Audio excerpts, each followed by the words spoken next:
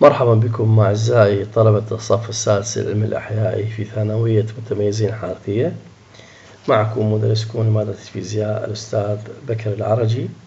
اليوم المحاضرة الخامسة في شرح الفصل السادس واللي هي عنوان الإلكترونات الحالة الصلبة أو أشباه الموصلات كما يسمى بالعرف العام. الدرس الماضي أخذنا الثانوية البلوري وأنه عبارة عن منطقتين P و N. أخذنا كيف آه، بعد تشيب شيء الحدث به وكيف أنواع ربط اللي هو انحياز أمامي وعكسي والتطبيقات الأربعة اللي عليه. اليوم راح ناخذ الترانزستور وهو التطبيق الثاني على إلكترونيات الحالة الصلبة والترانزستور ليس منطقتين يكون ثلاث مناطق. يعني إذا كان ثنائي PN منطقتين بي هذا يكون ثلاث مناطق ولذلك يكون PNP أو N بي ان وكل منطقة لازم نسميها باسم حتى يتميز يعني. انت هسه عندك ثلاث مقاطع. أي مقطع لو ببيتك لو بعملك لو بكتابك لو بدفترك ثلاث أقسام لازم نسمي كل قسم اسم معين حتى يعني يسهل عليك التعامل أو الوصف حركة الاستخدام أو غير ذلك. أو وصف أي شيء يتعلق به. الترانزستور ثلاث مناطق. هاي ثلاث مناطق مصنوعة من مادة كلها شبه موصلة بلورة واحدة السيليكون وجرمانيوم طبعا يفصل ما دام ثلاث مناطق P و N P كم منطقة فاصلة بيناتهم راح يصير منطقتين فاصير ملتقيان بها. منطقة ملتقيان بها. فاصير منطقة بها نسبة عالية من الشوائب بالطرف. ومنطقة الطرف الآخر فيها نسبة أقل من الشوائب. وبالنص منطقة رقيقة فيها نسبة منخفضة من الشوائب. بس المنطقتين بالطرف يكون نفس النوع يعني PNP يعني ما يصير بي ان ان أو بي بي ان ما سوينا شيء. المفروض بي ان بي أو ان بي ان فالمهم هناك منطقة الطرفين يكون نفس نوع الشوائب ولكن تركيز أحدهما أكثر من الأخرى. والبي بالنص والبالنص عفوا تكون المنطقة بالنص تكون رقيقة أرفع منهن وأقل نسبة شوائب. بالمنطق العام إذا أنا بالحالة أكبر أكبر تيار يمر بها منطقة بيهن إنه ما دام ثلاثة لو منطقتين من واحدة الثانية يكون نفس التيار ولكن ما ثلاث مناطق إذا أكيد المنطقة اللي بيها أكثر شوائب راح يكون أكبر تيار. والمنطقة اللي بيها أقل شوائب راح تكون أقل تيار. والمنطقة الثالثة اللي هي أقل أيضا الجميع أم راح تكون أقلهن تيار. فكل ما يزاد الشوائب يزداد تيار وكل ما تقل الشوائب يقل تيار. إذا منطقيا راح يصير التيارات كلها. منطقة كبيرة شوائب تساوي تياري. المنطقتين أخرى إنها مغلق وين راح يروح التيار. شو أنت ما أنت عندك منفذ واحد ثلاث منافذ عندك.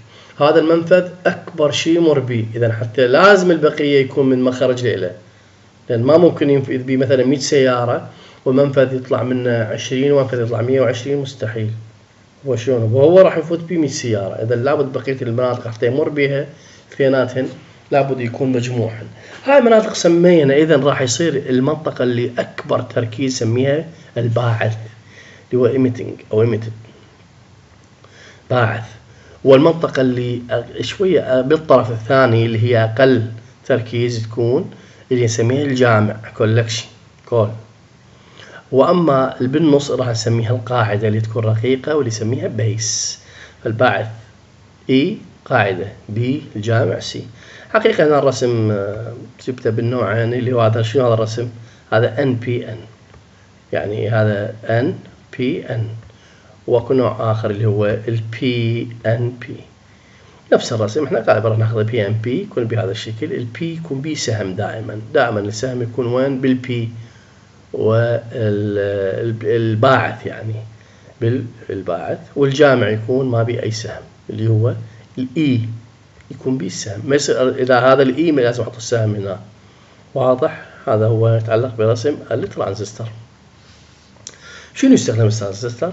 الترانزستور يستخدم في تضخيم الإشارات. تضخيم الإشارات. شنو معنى تضخيم الإشارات؟ يعني كبر الإشارة. الكبر الإشارة. إذا بالحالة الآن طبعا هنا كل هنا ماذا يتكون ترانزستور ان وبي الان أول بي ان بي والان بي ان ملتقيان وشوف الرسم يختلف بس هنا هذا داخل هنا يكون بي هذا يكون خارج. الرسومات يعني دقيقة شوية ولا أرجو مراجعتها.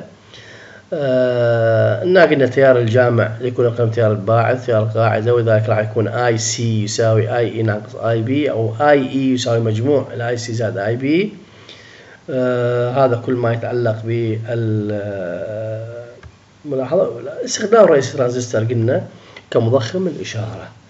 لذلك آه، ومن هذا المضخمات إذا يدخل كمضخم إشارة شنو معنى أكو هناك إشارة داخلة؟ وأكو هناك إشارة خارجة. إذا أكو إشارة داخلة وإشارة خارجة. طيب إذا إشارة داخلة كم قطب تريد؟ قطبين وإذا إشارة خارجة هم قطبين إذا قطب صار لازم يصير أربع أقطاب. ترانزستور كم قطب بي؟ ثلاثة. إذا بالحالة عندي نقص قطب إيش راح أسوي؟ لذلك ما أقدر أستخدم ترانزستور في ربط يعني مستقل كل الأضلاع لازم أخلي واحد منهم مشترك يا أما أخلي ترانزستور باعث مشترك أو قاعدة مشتركة.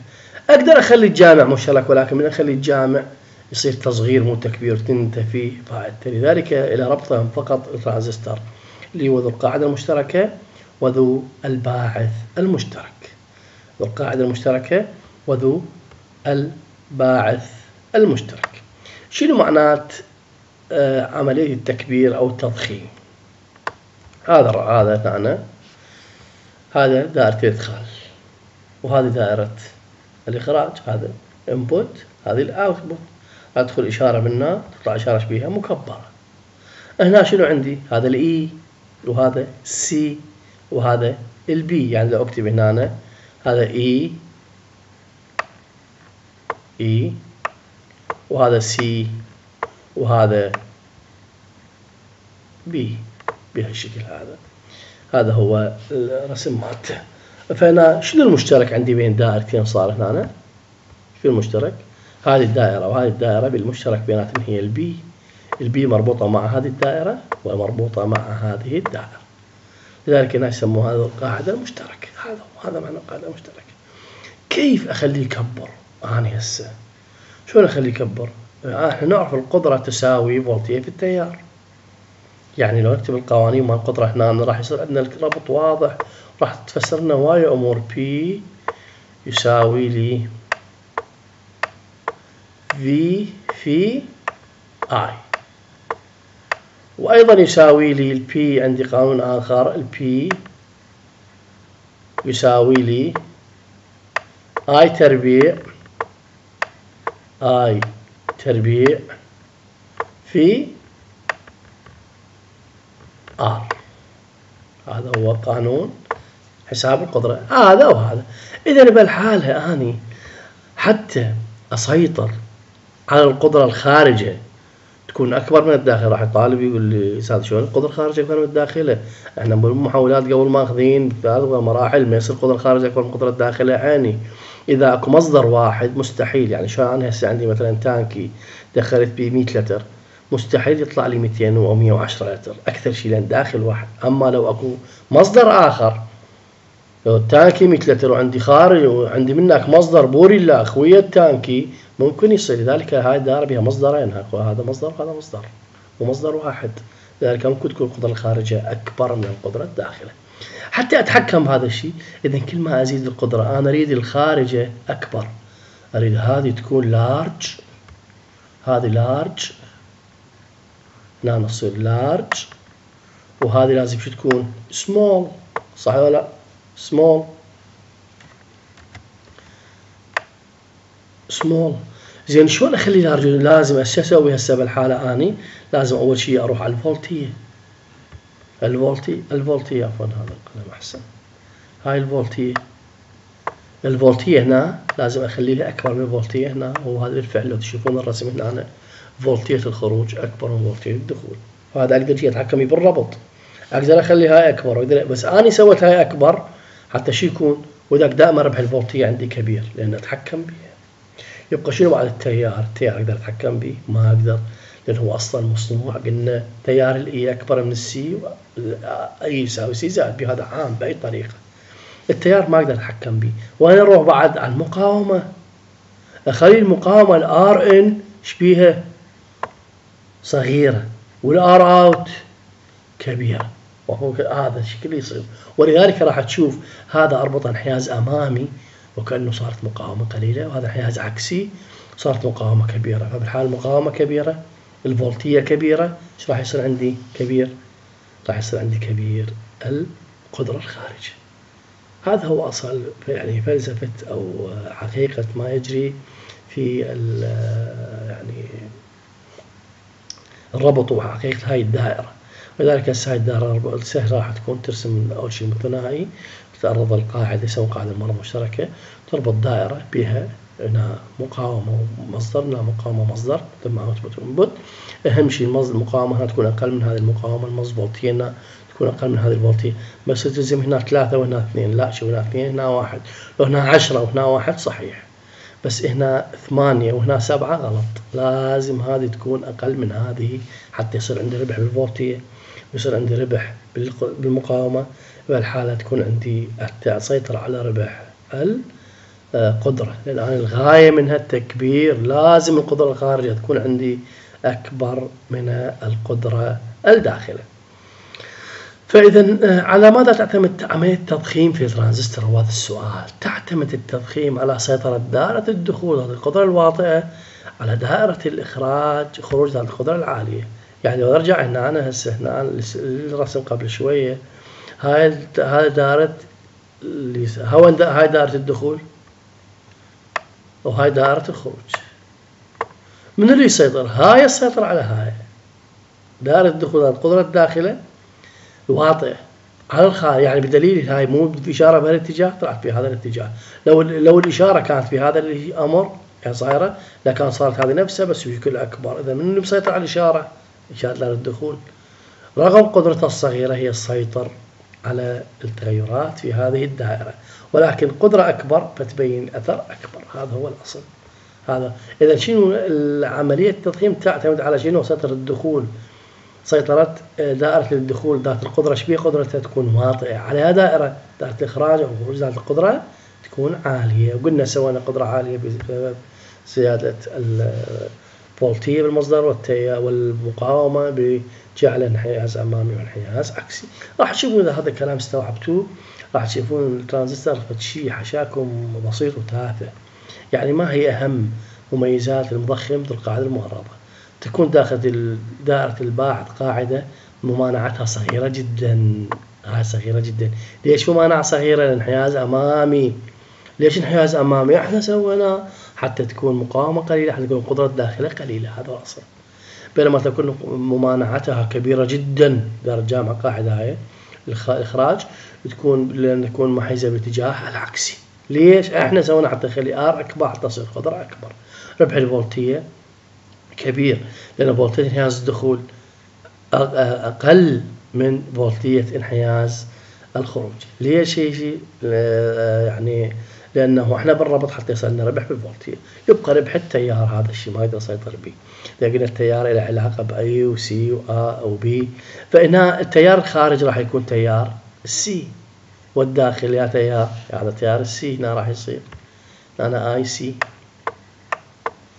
اي سي أما سي والتيار الداخل اي اي اذا دائما القدره يكون خارج على الداخل يعني آي سي على آي بي. دائما الربح يكون أنت سيمتي تعرف ربح بمحل لازم نطلع الوارد على على المصروف يعني المبذول رأس المال يعني فيكون شيء الخارج عندك. عرفت؟ إذا أكبر من واحد ربحان أقل من واحد خسران. هذا يسمى ربح. نسبة الربح وكذلك ربح القدرة راح بالتيار راح يصير عندي I C على I B ياهو الاكبر I C لو I B الاي سي أصغر من اي اي لذلك راح يكون أقل من واحد. بس قلنا أكو فرق قليل مو حيل لأن التيار قاعدة جدا ضعيف. لذلك راح يكون ربح التيار أقل من واحد.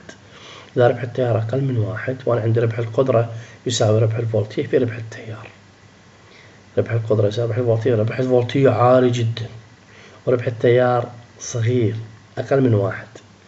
عالي جدا في أقل من واحد وذلك يكون ربح ربح بس متوسط. لذلك الدائرة تكون أو الناتجة منها تكون آه، يعني مكبرة. شيء هو هذا المطلوب هذا هو. إذا لماذا نربط هذا الإدخال انحياز عكسي حتى ازيد المقاومة؟ ليش إخراجه امام عفوا أمامي تقل المقاومة؟ ليش إخراج عكسي حتى تزيد المقاومة؟ ليش الفولتيه قليله حتى يكون ربح الفولتية الاخراج اوها كبيرة حتى الفولتية الاخراج أكبر يكون ربح الفولتية وعندي ربح بالمقاومة راح يزيد لي من ربح القدرة. هذا كل ما يتعلق بالترانزستور القاعدة المعرضة. آه، هل يمكن الاستخدام الترانزستور القاعدة المعرضة في تكبير التيار؟ مستحيل ما يكبر التيار لو صغر التيار قلنا أقل من واحد. هذا كل ما يتعلق بالترانزستور القاعدة المؤرضة. آه، الدرس القادم راح ناخذ آه، الترانزستور بالباعث المشترك. فصلتها بدرسين أفضل حتى الطلبة يراجعون هذه المحاضرة زين لأن حتى يسهل استيعاب المحاضرة الثانية وهم تعتبر تأكيد وإعادة للمحاضرة اللي ذكرناها هسه. وراح إن شاء الله بسرعة إجمالية في بداية المحاضرة. أسأل الله التوفيق للجميع